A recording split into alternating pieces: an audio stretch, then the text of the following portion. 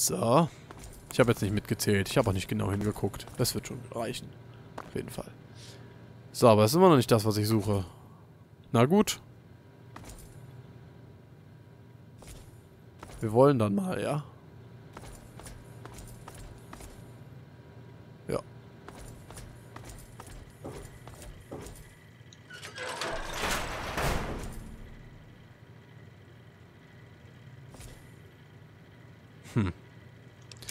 Das ist mir ein bisschen suspekt. Manteds. Munition. Extraktionsterminal. Extraktionsbesprechung. Sie haben bisher gute Arbeit geleistet, Agent Young. Ihre Bezahlung wurde als Lotteriegewinn getarnt an Ihre nächsten Verwandten überwiesen. Wir müssen Ihnen jedoch mit tiefstem Bedauern mitteilen, dass jetzt zum Wohl der Volksrepublik Ihrem Leben ein Ende gesetzt werden muss. Scheiden Sie würdevoll aus dem Leben, ehrenwerter Soldat. Und hier haben wir eine einzigartige Waffe, und zwar das Hinterwäldlergewehr. Ja, wir sollten jetzt nur gucken, dass wir hier schleunigst rauskommen. Es gibt zwei Möglichkeiten, hier rauszukommen. Erste Möglichkeit ist diese Tür öffnen. Wie machen wir das? Äh, zwar muss man hier hoch. So. Und von hier oben irgendwo Moment. Irgendwo von irgendwo oben konnte man, soweit ich mich erinnere, ach, da ist noch, da liegt noch Mentet.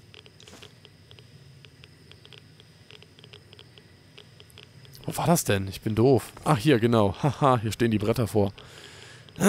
ja, die einfachste Möglichkeit ist, indem man einfach hier mit Wissenschaft 71 äh, das alles kurz schließt. Und dann ist die Tür wieder offen und man kann hier raus. Ich frage mich gerade...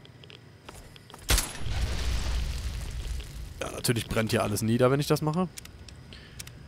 Das wäre halt die leichte Möglichkeit, indem man einfach hier die Tür... Ja, den Schaltkasten praktisch kurz schließt.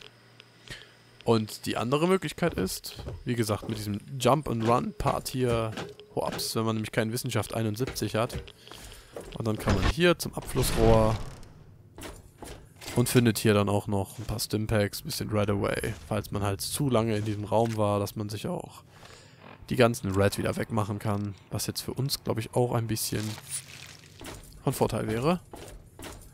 So, dann kann man hier runtergehen.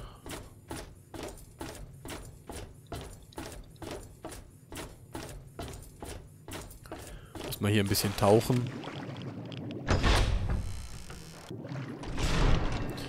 Und dann ist man wieder hier draußen. Wo genau? Weiß ich gerade gar nicht. Wo sind wir denn? Ach, in der Nähe vom, von der U-Boot-Bergung. Alles klar. Gut, dann weiß ich Bescheid. So. Gehen wir nochmal kurz zu dem Schiffchen. Da haben wir noch so ein paar Sachen hier liegen. Also ein paar Sachen, die ich hier loswerden will jetzt. Und zwar chinesische Sturmgewehre. Wofür habe ich die jetzt eigentlich mitgenommen? Ach, keine Ahnung. Offiziersschwert habe ich auf jeden Fall mitgenommen, weil wir das ziemlich gut gebrauchen können. Um unser Offiziersschwert, das chinesische Schwert von Jingwei zu reparieren. Wenn wir es denn irgendwann mal benutzen sollten. Äh... Die Impulsgranaten müssen wir unbedingt mal verkaufen. Was haben wir denn? Hinterwäldlergewehr. Das ist nämlich die einzigartige Waffe. Das einzigartige Unterhebelrepetiergewehr.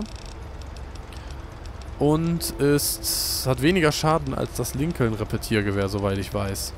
Benutzt aber natürlich, darf man nicht vergessen, 10 mm Munition. Im Gegenteil zu dem Lincoln, was halt 44er benutzt. Die kann auch weg.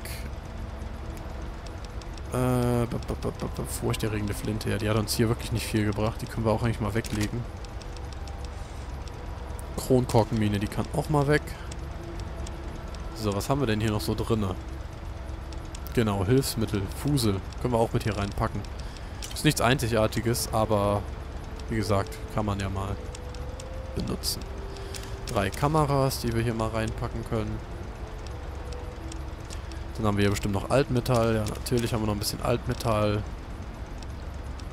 Vorkriegsgeldstange, Zigaretten, Metro-Tickets. So, sonst haben wir hier aber auch nichts mehr. Gut.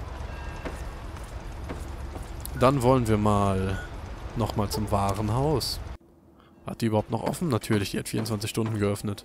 Oh, es freut mich sehr. Ja, ja. Was möchten Sie denn kaufen? Die hat mittlerweile wenigstens wieder ein neues Inventar.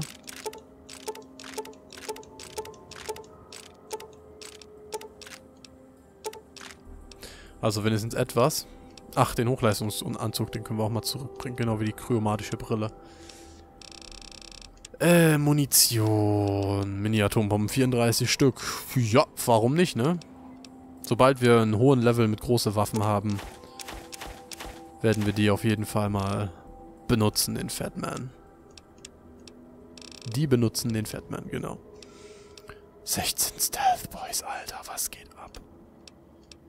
So viel Redaway brauchen wir eigentlich auch nicht. 10 Stück reichen da völlig. Psst.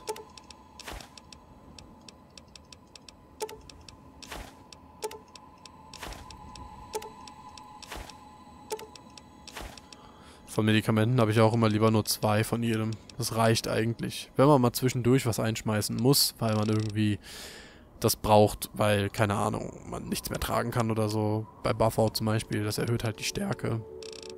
Dann kann man das mal benutzen. Splitterminen, Splittergranaten, kann alles weg. Impulsminen und Granaten, die können auch weg. So, eins von diesen Unterhebelrepetiergewehren kann eigentlich auch weg. Ach, das Spielzeugmesser, das können wir mal reparieren lassen. Nein, nicht abbrechen, sondern annehmen. Natürlich. Sachen reparieren. Mein Vater hat mir viele Tricks beigebracht. So. Ich muss jetzt los. So, dann können wir noch unseren Metallsprenger reparieren. Und wir können nochmal eben hier hin. Damit ich nochmal kurz einige Sachen loswerden kann. So, und zwar brauchen wir natürlich den Hochleistungsstrahl, also die kryptomatische Brille nicht mehr. Genauso wenig wie wir das Spielzeugmesser brauchen. Und ja. So, jetzt bin ich zufrieden. Als nächstes gehen wir zum Außenposten des Katastrophenschutzes. Allerdings glaube ich, werde ich da nicht von hier hinlaufen. Auch wenn das jetzt nur zwei Meter sind, die ich mich teleportiere. Ich habe keine Lust auf dieses ekelhafte, krasse Geruckel. Deswegen mache ich das. So, Außenposten des Katastrophenschutzes.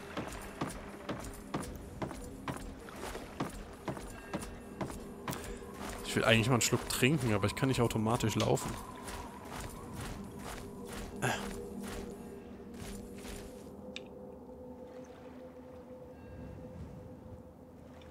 Ah, so. Haben wir auch was getrunken.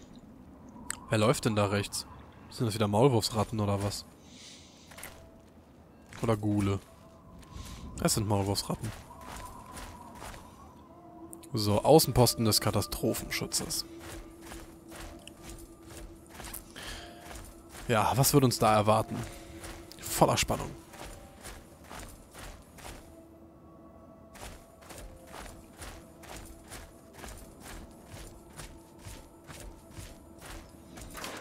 Verwahrungszelt. Und noch ein Stealth Boy. Genau, die wollte ich eigentlich auch noch loswerden. Scheiße. Na egal. Einheiten Missionsparameter. Ermitteln Sie die medizinischen und sozialen Bedürfnisse der lokalen Bevölkerung, machen Sie auf Gesundheitsrisiken aufmerksam und bieten Sie, die bieten Sie bei lokalem Bedarf Hilfe an. Helfen Sie bei der Teilnahme am Bundesfitnessregistrierungssystem. Die Freiwilligen müssen in der Öffentlichkeit und im Privatleben jederzeit die Werte des Programms Kollektive Wohlfahrt hochhalten.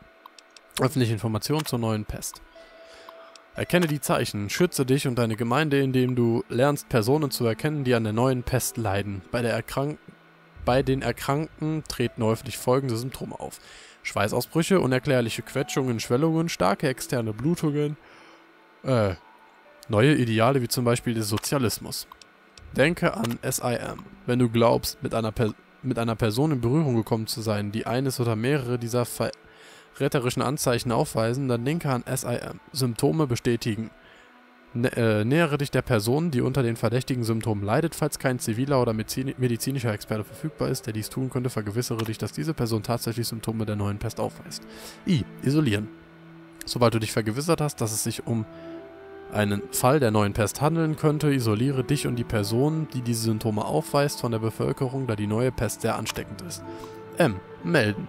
Melde in diesem Fall direkt bei der nächsten Gesundheit Bundesgesundheitsregistratur der medizinischen Zentrale und überlasse alles weitere den Experten. Schütze dich. Die neue Pest ist eine sogenannte Geselligkeitskrankheit. Das bedeutet, dass die neue Pest sehr ansteckend ist und durch gesellschaftliche Kontakte wie zum Beispiel die folgenden übertragen werden kann. Gemeinsames Lecken an Speiseeis. Langsames Spazierenfahren auf der Hauptstraße. Sexuelle Freizügigkeit, Sodomie. Besuchen von Jahrmärkten oder Festivals. Wie kannst du dich also am besten vor Geselligkeitskrankheiten schützen? Warum bleibst du nicht zu Hause und liest ein Buch oder kochst etwas? Du schützt dich am besten vor einer Ansteckung, indem du den Kontakt zu anderen einschränkst. Lass dich registrieren. Hast du gewusst, dass deine Regierung dich vor der neuen Pest und anderen biologischen Gefahren schützen kann? Das ist wahr und du brauchst dazu nur die Bundesgesundheitsregistratur in deiner Nähe aufzusuchen. Dort werden freundliche Bundesexperten ein paar kleine Proben nehmen und dich in der nationalen Registratur eintragen. Durch die Teilnahme am Bundesregistrierungsprogramm erhältst du nicht nur die medizinischen Experten über deine medizinische Vorgeschichte und deinen Gesundheitsstatus, äh, Gesundheitszustand auf dem Laufenden, sondern lieferst auch einen wertvollen Beitrag zu wichtigen Pro Forschungsprogrammen und erhältst das Anrecht auf Sonderpreise, die zum Beispiel Benzin, Rationen oder Urlaubsreisen an exotische Orte unseres Landes beinhalten oder so. Keine Ahnung, wie der Satz enden sollte. Einheitenführungsprotokolle. Protokolleintrag 1. Ich kam heute mit der ersten Wagenladung von Freiwilligen an. Keine Bundesbeamten, weit und breit. Ich schätze, das Registrierungsprogramm hat diese Gegend bereits abgeklappert. Es wurden einige Sachen zurückgelassen und ich bin befugt, die Sachen aus dem Lager zu holen und zu benutzen. Wir haben einigen, äh, einige einfache Antibiotika und Hygienevorräte sowie ein paar Kisten mit Informationsflugblättern zur neuen Pest. Das ist noch nicht viel, um etwas Großes aufzuziehen, aber immerhin können wir uns jetzt im Hotel einrichten. Vorläufig werde ich mich darauf konzentrieren, mit Victoria unser, unser Zentrum für Öffentlichkeitsarbeit aufzubauen, während unsere übrigen Freiwilligen in die Gemeinde gehen, um die Lage zu erkunden. Protokolleintrag 2 Das Gebäude, das für uns äh, das Gebäude, das uns für unser Zentrum für Öffentlichkeitsarbeit zur Verfügung gestellt wurde, war der reinste Witz. Das Gebäude ist nur zur Hälfte frei fertiggestellt und das, was bisher gebaut wurde, sieht so aus, als könnte es jeden Moment von selbst umfallen. Das Immobilienunternehmen war keine große Hilfe. Ich habe einige Außendienstmaterialien angefordert, damit wir ein Zentrum unter freiem Himmel aufbauen können. Bis dieses Problem behoben werden kann, bis dieses Problem behoben werden kann. Meine Freiwilligen haben mir berichtet, dass es in einem großen Teil dieser Gegend an, an der grundlegendsten Infrastruktur mangelt und wir daher wahrscheinlich am besten mit einfachen Impfstoffen und sanitären Materialien beginnen sollten. Ich habe einige dieser Materialien, ja, mal kurz umsetzen, äh, einige dieser Materialien auf die heutige Einkaufsliste gesetzt, glaube aber, dass wir die Lage vor Ort nicht gründlich genug erkundet haben, um jetzt schon mehr als das anzufordern. Protokolleintrag 3. Wir haben heute die erste Veranstaltung für unsere Öffentlichkeitsarbeit durchgeführt, die allerdings nicht, nicht gut verlaufen ist. Der größte Teil der Bevölkerung im zentralen Gebiet von Point Lookout besteht aus Immigranten aus nahegelegenen städtischen Wohngebieten, zum Beispiel aus Bauarbeiten mit zeitlich begrenzten Verträgen, Hilfspersonal für örtliche Unternehmen und ein paar wenigen Geschäftsleuten, die mit den Bauprojekten zu tun haben. Wir sind hier, um der ländlichen Bevölkerung zu helfen, die noch nicht einmal einen Nachttopf besitzt. Aber gerade diese Leute kommen einfach nicht in den Ort. Wir müssen unsere A Arbeitsansätze gründlich neu überdenken. Die Bevölkerung scheint sehr zurückgezogen zu leben. Wir müssen bei unserer Öffentlichkeitsarbeit kreativ vorgehen. Protokolleintrag 4. Victoria wurde heute schwer verletzt. Sie fuhr mit einem Lastwagen voller Vorräte zur Arkendorf Cathedral auf der anderen Seite des Flusses. Die meisten der Einheimischen denen wir helfen wollen, wohnen in primitiven Behausungen im Feuchtgebiet. Die Kathedrale ist das einzige öffentliche Gebäude, das sich in der Nähe dieses Gebiets befindet.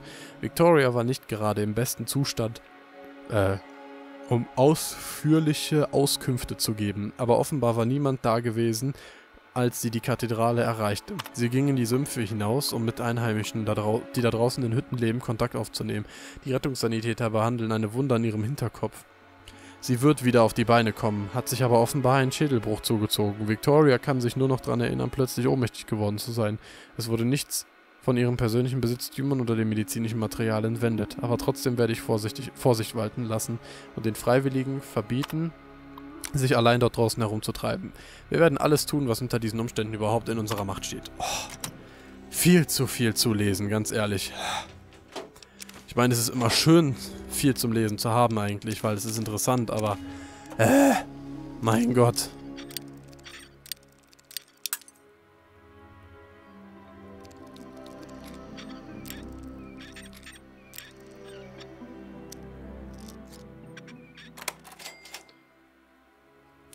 Aufbereitetes Wasser, ja. Bitte, gib mir mehr.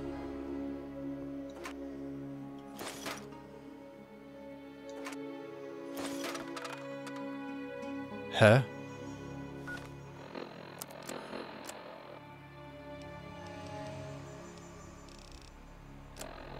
Klumpen aus Gehirnmasse. Warum stand da gerade, das Gehirn ist bewusstlos? Verstehe ich nicht.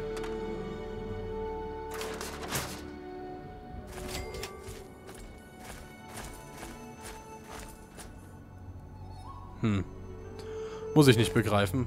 Ich guck mal eben nach, was das zu bedeuten hat. Das interessiert mich nämlich jetzt, weil das habe ich früher auch schon nicht verstanden. Einen Moment kurz. Ha! Ich weiß, was mit der Meldung gemeint ist. Und das ist echt cool. Ich werde es euch bei Gelegenheit Ave mal zeigen. Maria, voll der Gnade. Der Herr ist mit dir.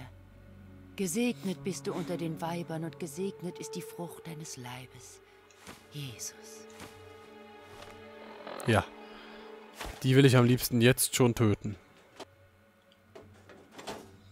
Naja, was willst du? Seien Sie gegrüßt, mein Kind. Ich bin Marcella, Missionarin und Schülerin des Glaubens. Wie geht es Ihnen? Freut mich, Sie kennenzulernen, Marcella. Ja, der Glaube. Lassen Sie mich raten, Sie sind auch so eine Weltuntergangssekte? Ganz und gar nicht. Ich erzähle Ihnen gern mehr davon, wenn Sie Interesse haben. Erzähl mir, woran du glaubst. Soll ich Ihnen aus der Heiligen Schrift vortragen? Oder möchten Sie nur etwas über unseren Glauben wissen?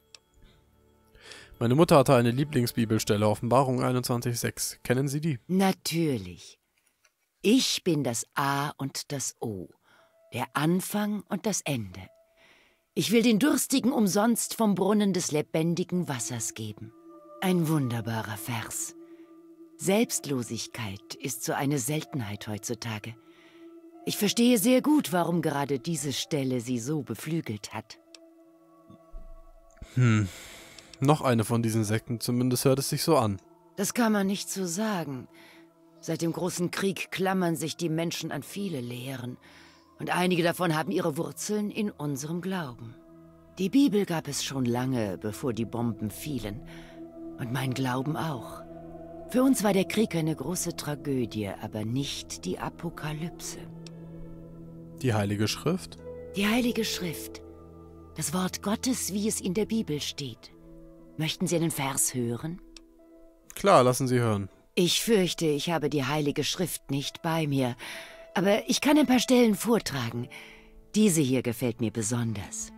Wahrlich, wahrlich, ich sage euch, wer mein Wort höret und glaubet dem, der mich gesandt hat, der hat das ewige Leben und kommt nicht in das Gericht, sondern er ist vom Tode zum Leben hindurchgedrungen. Hm. Was genau ist denn Ihre Mission? Wir versuchen, das Ödland angenehmer zu gestalten, indem wir Gutes tun und das Wort der Bibel verbreiten. Außerdem bergen und restaurieren wir alle religiösen Reliquien, die wir finden können. Aber das ist nur eine Nebenbeschäftigung. Bin ich eigentlich doof oder haben alle Frauen hier irgendwie dieselbe Stimme? Ich wurde im Kloster großgezogen, bis ich alt genug für die Missionsarbeit war. Erst dann verließ ich zum ersten Mal das Kloster. Hm, hm, hm, hm. Rede über was anderes. Was halten Sie von Point Lookout? Ich bin selbst noch recht neu hier, aber ich sage Ihnen gern alles, was ich weiß. Was halten Sie von den Einheimischen? Als sehr feindselig. Ich will sie beobachten, aber die Sumpfbewohner sind Außenstehenden gegenüber aggressiv. Zum Glück bleiben sie gern im Sumpf. Was haben mal die Knochen und aufgespießten Puppen hier zu bedeuten? Das sind sicher Fetische oder Totems der Sumpfbewohner, mit denen wahrscheinlich Territorien abgesteckt oder Rituale zelebriert werden. Ich habe von vielen primitiven Religionen gelesen, die ähnliche Symbole verwenden. Voodoo, Santeria, Obea. Faszinierend, aber auch beunruhigend. Obwohl die zugrunde liegenden Glaubensvorstellungen recht finster wirken, sind sie für die Sumpfbewohner wahrscheinlich lediglich leere Traditionen. Äh, haben Sie das Zelt, haben Sie das Zeltlager hier errichtet? Mehr oder weniger. Die Zelte waren umgestürzt, als ich sie fand. Ich konnte sie wieder aufstellen. Das hier riecht am wenigsten nach Nasser Brahmin. In einem anderen Zelt habe ich ein Terminal wieder in Gang gesetzt.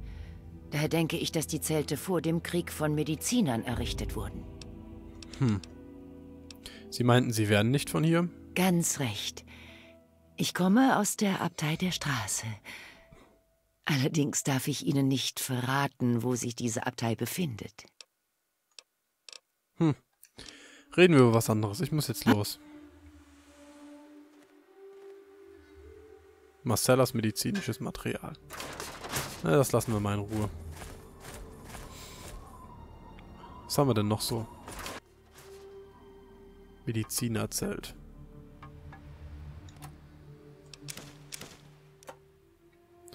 Ledergürtel, Erste-Hilfe-Kasten. Auch nichts Interessantes hier drin. Nicht wirklich.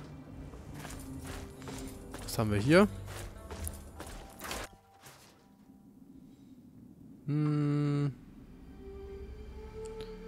Äh, ein Erste-Hilfe-Kasten. Okay. Gut, haben wir das auch abgefrühstückt. Jetzt will ich aber mal eben was nachgucken. Und zwar... Das Gehirn, welches bewusstlos ist. Das ist so eine ganz lustige Geschichte in der Nähe vom Riesenrad. Ich weiß nicht, ob man das einfach so finden kann.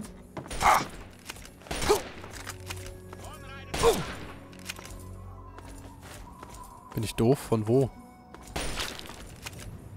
Ach, da oben.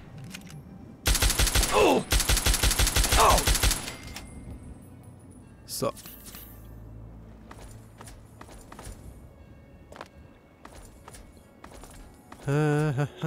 Ich weiß nicht, ob man das finden kann, was ich denke. Aber ich hoffe es. Das wäre nämlich ziemlich lustig. Kann ich euch nämlich zeigen, welches Gehirn gemeint ist, welches immer wieder bewusstlos wird. Dazu müsste ich aber einen Weg auf das Dach finden. Glaube ich. Zumindest soweit ich das verstanden habe.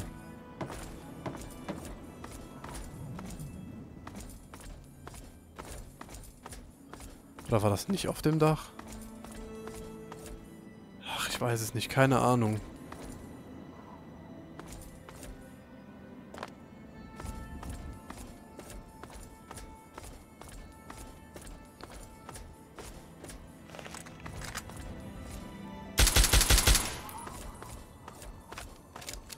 Ich weiß auch gar nicht, ob man auf das Dach draufkommen kann irgendwie. Ohne Konsolenbefehl.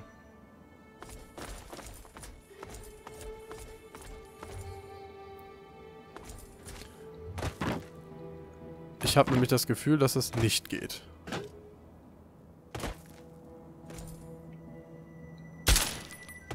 Hm. Weil wenn man mal guckt, wenn man sich da hinten hinstellt, wird einem ein freundlicher Charakter angezeigt. Und dieser befindet sich dort oben auf dem Dach. Dieser freundliche Charakter hier. Befindet sich hier oben auf dem Dach. Und... Naja, ich weiß nicht, wie man da hochkommt oder ob man da hochkommt. Ob es einen Weg gibt, irgendwie da hochzukommen.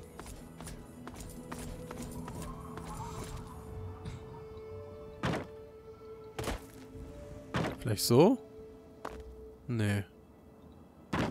Äh, irgendwie muss es doch einen Weg geben.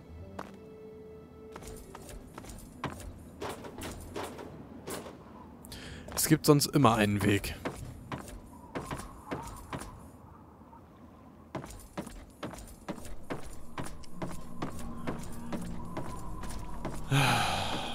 Wobei ich echt glaube, dass es dieses Mal echt keinen Weg da hoch gibt. Aber ich weiß, wie ich es euch trotzdem zeigen kann. Ich mach das jetzt einfach mal. Wir cheaten jetzt mal, ja? So ganz klammheimlich. Das ist auch das einzige Mal, dass wir das machen.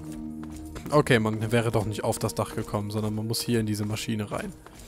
Hier ist nämlich so eine Pulowski irgendwas Erhaltungsmaschine.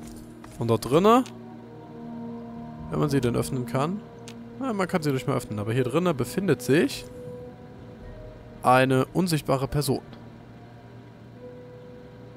Ja. Und diese Person heißt das Gehirn. Und es ist praktisch eine menschliche Version von unserem guten Doc, den wir halt eben, ja, getötet haben. Das hier ist praktisch die menschliche Version von ihm. Warum er jetzt unsichtbar ist, ich habe keine Ahnung.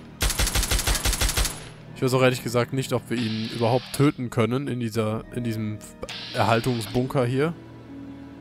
Drinne. Wir könnten mal versuchen, äh, pff, wie war nochmal der Konsumbefehl dafür? War das Open? Nee, äh, pff. ach nee, Unlock.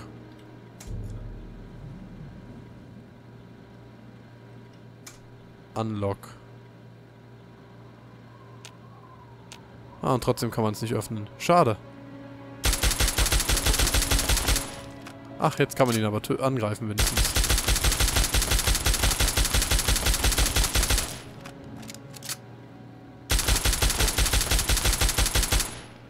Das Gehirn Kopf verkrüppelt. Kriegt er Leben abgezogen? Glaube, da oben stand das sogar eben schon, ne? Das Gehirn ist bewusstlos.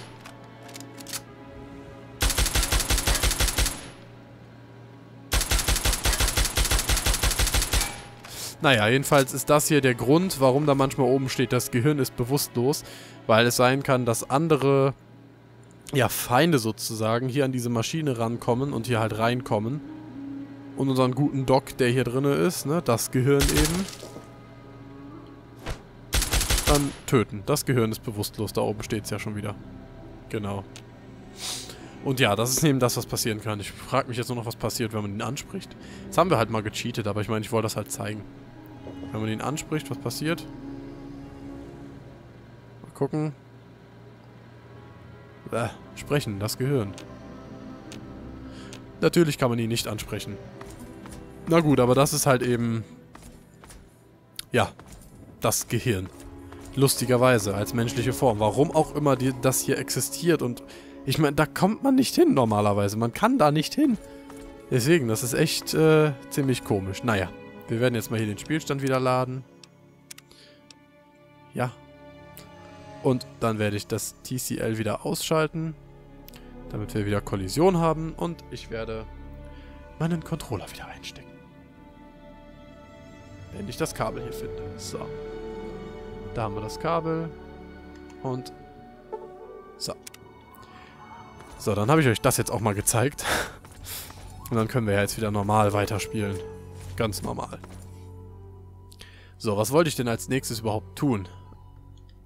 Ach genau, ich weiß es wieder. Ich wollte...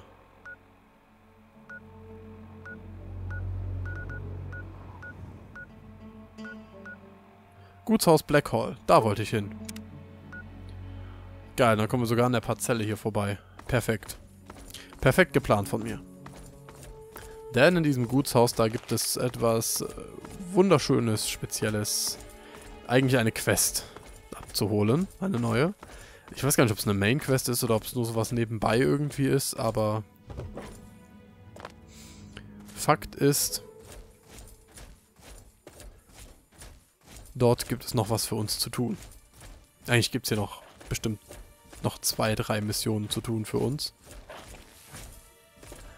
Aber Ja, alles zu seiner Zeit, alles zu seiner Zeit. Was haben wir denn hier?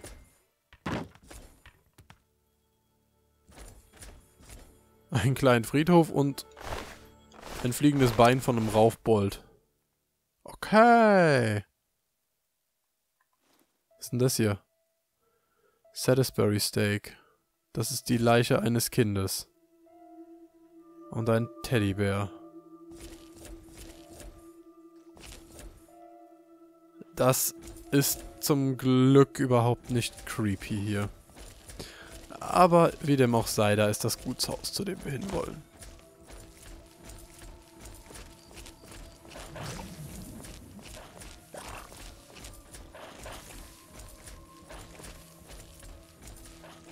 Ach ja. Ich dachte gerade, hä, warum, warum läuft er so komisch? Aber ich bin mal wieder gekrochen wie so ein Mongo.